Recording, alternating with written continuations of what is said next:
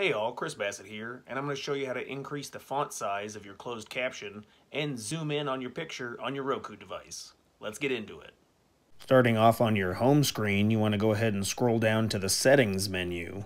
Then once you're in the settings, you want to look for accessibility. Accessibility gives you options to the subtitles and captioning and allows you to change the caption's text style, text size, color, and so on. If you're looking for the largest font possible, you want to go with the serif fixed width. As well as your text size, you want to put that on extra large. In my opinion, that'll be the best bet to get the largest font uh, for your closed captioning. The other options in the menu deal with the text color or the background color, as well as the opacity of both uh, options. I think a black background with white text stands out the most and makes it the easiest visible text. One option that's really interesting is the screen reader. You can turn that on or off, and what that does is it speaks out loud in like a Siri like robotic voice uh, what the menus are and what they do. Uh, it's pretty interesting. So for example, if you're having trouble reading the menu, you can turn the screen reader on and it'll actually read the text to you.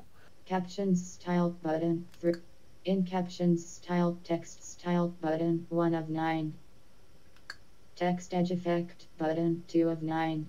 You can also control how fast and the volume that the screen reader speaks to make it not so annoying. So next for the uh, picture zoom feature, go ahead and start up an app, whatever app you're going to choose. Uh, Pluto's my favorite. If you haven't seen my tutorial on that, go ahead and check that out. So you don't have to be in Pluto, it can be any app, but once you're inside an app and it's actually playing, you get options for an advanced picture menu. So you're wanting to scroll down to picture settings, and then you'll find picture size. And then once you're inside the picture size menu, you have several options. Auto is the default, and that gives you the uh, best image size automatically. You also have direct, normal, stretch, and zoom.